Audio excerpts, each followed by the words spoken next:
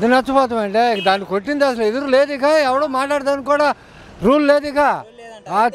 ఇప్పుడు చంద్రబాబు గారు పవన్ కళ్యాణ్ గారు ఇద్దరు కలిసి ఓడిస్తారు అబ్బా ఇవన్నీ జరగని మాటలండి.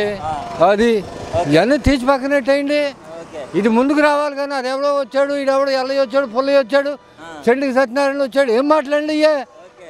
జగన్ గారిది అందరికి ఇప్పుడు ఇచ్చిన పథకాలు కావచ్చు ఆయన పథకాలు ఇచ్చినా ఇవ్వకపోయినా ఏది ఏమైనప్పటికీ కూడా ఆయన పరమే ఆయనదే. డౌట్ ఏం లేదండి. నా గ్యారంటీ ఉంది నాకు. నా మనస ఇచ్చాడు. ఇవ్వకపోయినా ఓటేయటం ఆయనకే.